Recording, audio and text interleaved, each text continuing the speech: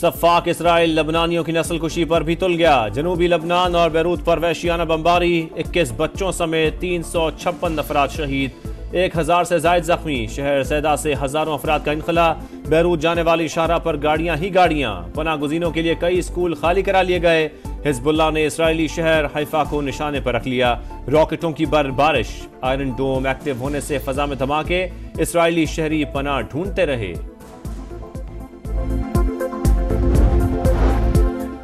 Israel की नई मुहिम जुई के खतरनाक नतज होंगे। ईरानी वजारत खारजा का रद्द अमल उर्दन ने बैरूत के लिए तमाम परवाजें मनसूख कर दी। कत्लो गारत इसराइल को अमरीकी पुष्ट पनाही हासिल।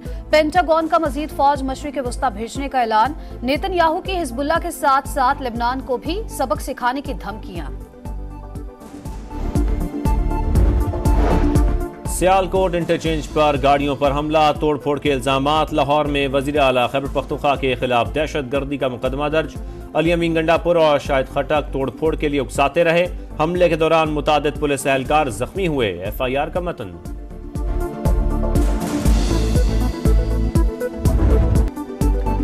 इलेक्शन कमीशन का यकुम मार्च का फैसला, आइन से मुतसादिम, कोई कानूनी हैसियत नहीं। तहरीक इंसाफ मखसूस नशस्तों की हकदार है। सुप्रीम कोर्ट ने इलेक्शन कमीशन के किरदार पर सवाल उठा दिए। इदारा फरवरी 2024 में अपना किरदार अदा करने में नाकाम रहा। पीटीआई उसके उम्मीदवार और आवाम गैर कानूनी कामों का नतीजा नहीं भुगत सकते। तहरीक इंसाफ एक सियासी जमात है। मखसूस नशस्तें न देना इलेक्शन कमीशन की जानब से इजाफी सजा है। केस का तफसीली फैसला जारी। सत्तर सफात पर मुश्तमिल फैसला जस्टिस मंसूर अली शाह ने तहरीर किया। अक्सरियती फैसले में पीटीआई से बल्ले का निशान छीनने की कार्रवाई पर तहफात का इजहार। मुकम्मल इंसाफ करते हुए अदालत किसी तकनीकी असूल की पाबंद नहीं। अक्सरियती फैसला उर्दू जबान में जारी करने का हुक्म।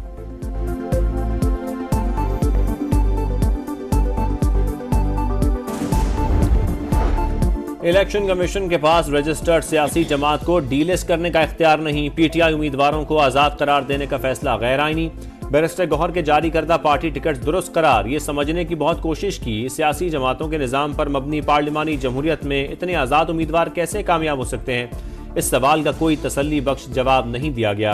पीटीआई का दावा था, आज़ाद उम्मीदवार उनके थे, इसी वजह से अवाम ने उन्हें वोट दिए। मखसूस नशस्तों से मुतालिक सुप्रीम कोर्ट के फैसले का मतन। अदालत ने पीटीआई को रिलीफ देने पर वजाहत भी कर दी, लिखा तहरीक इंसाफ की केस में फरीक बनने की दरखास्त हमारे सामने थी।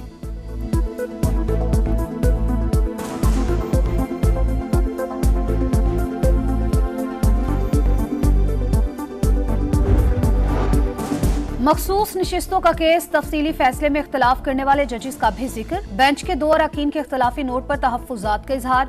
जस्टिस अमीनुद्दीन खान और जस्टिस नईम अख्तर अफगान ने जिस अंदाज में अक्सरियती फैसले पर इख्तलाफ किया, वो उनके मनसब के मुनाफी। ज़रूरी नहीं जज हमेशा आँखों में आँखें डालकर ही इख्तलाफ करे। दोस्ताना माहौल में मुशावरत करने में कोई हर्ज नहीं। जाम फैसला देना जजेस की ज़िम्मेदारी में शामिल है।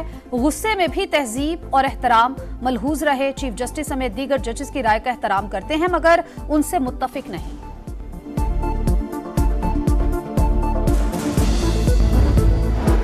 पीटीआई इस अदालत के सामने फरीक नहीं बनी। 26 जून को फरीक बनने की दरखास्त आई, लेकिन पीटीआई ने अपने हक में किसी डिक्लेरेशन की इस्तः नहीं की।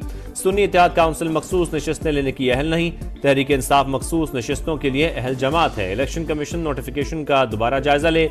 जस्टिस या आफरीदी का इख्तलाफी नोट।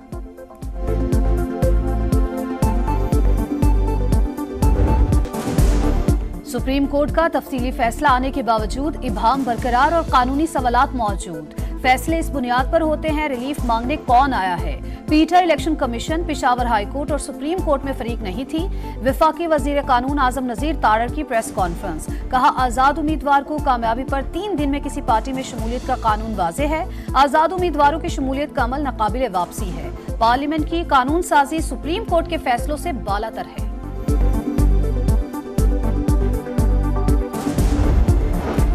इलेक्शन कमीशन मखसूस नशस्तों का ऐलान जल्द करे। तहरीक इंसाफ का मुतालबा। बैरिस्टर गौहर ने कहा, सुप्रीम कोर्ट ने फ्लोर क्रॉसिंग के कानून को हमेशा के लिए खत्म कर दिया।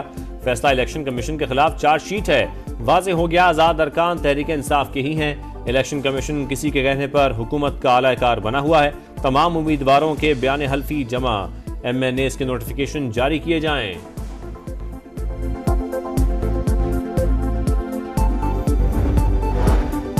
मखसूस नशस्तों से मुतालिक सुप्रीम कोर्ट के फैसले पर अमल दरामद होगा या नहीं? इलेक्शन कमीशन कोई फैसला न कर सका।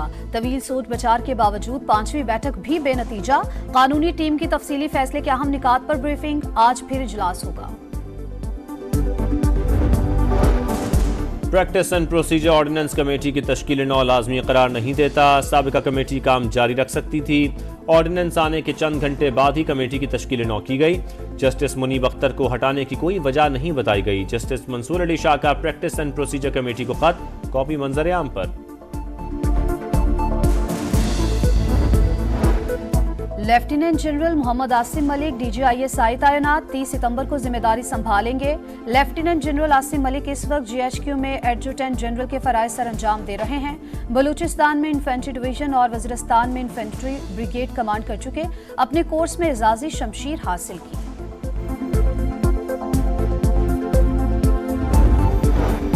गवर्नर सिंध की इस्लामाबाद में मौलाना फजल रहमान से मुलाकात। मुल्क की सियासी सूरत हाल पर बातचीत। मीडिया से गुफ्तु में कामरान टिसोरी ने कहा, मौलाना के अंदाज गुफ्तु से कभी नहीं पता चलता वो किस तरफ़ हैं। सीनियर सियासतदान हैं जो फैसले करेंगे, मुल्क की बेहतरी के लिए होंगे। नवाज़ शरीफ और वज़ीर अला पंजाब मरियम नवाज़ से अमरीकी सफ़ी डोनाल्ड ब्लूम की मुलाकात। पाक अमरीका ताल्लुकात और बाहमी दिलचस्पी के अमूर पर बातचीत। पाकिस्तान की सियासी सूरत हाल पर भी गुफ्तु वज़ीर अजम अकवा मुतहदा की जनरल असम्बली इजलास में शिरकत के लिए आज न्यूयॉर्क पहुँचेंगे। बांग्लादेश के चीफ एडवाइजर डॉक्टर यूनस से मुलाकात है बरतानवी हम मनसब के स्टामर से मुलाकात 25 सितंबर को होगी। 27 सितंबर को जनरल असम्बली से खिताब शेड्यूल्ड। फलस्तीन और कश्मीर के मजलूम आवाम का मुकदमा दुनिया के सामने रखेंगे। इस्लामाबाद में सऊदी अरब के कौमी दिन की तकरीब, सदर ममलिकत, विफाकी वजरा, गवर्नर्स, वज़ीर अला पंजाब मरियम नवाज़ अपोजिशन रहनुमा और अस्करी क्यादत की शिरकत, आसिफ अली जरदारी की ब्रादर मुल्क को मुबारकबाद, कहा दो तरफा ताल्लुक को मजीद मुस्तहकम करने के लिए पुरस्म है। वज़ीर अजम का वीडियो पैगाम भी नशर। शहबाज शरीफ ने कहा, सऊदी अरब का विजन दो हज़ार तीस दुनिया भर के लिए मिसाली नमूना है। सऊदी सफीर बोले, पाकिस्तान की तरक्की के लिए सऊदी अरब किरदार अदा करता रहेगा।